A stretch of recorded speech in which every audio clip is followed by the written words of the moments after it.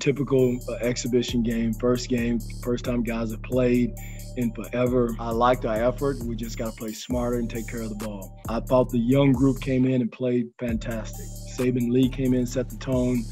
Uh, Saddiq Bey did a heck of a job, not just his scoring, just defensively, his compete level. Saddiq, he did great tonight. With um, he kept shooting the ball, of course, because he's a he's a threat from the outside, and uh, I just love the way that he played this game. Like man, he he could he could score, so you gotta respect that. You know, it was just exciting. It was more exciting than anything uh, because we haven't played. I, I, I personally haven't played since what February so it's, it's been so long. So I was just grateful to be out there.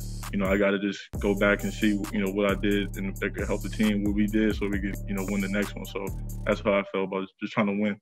Killian has just to relax and just play. He's he's wound tight and a little tight and uptight, and again that'll come. And uh, you know, uh, is is typical first exhibition game for him.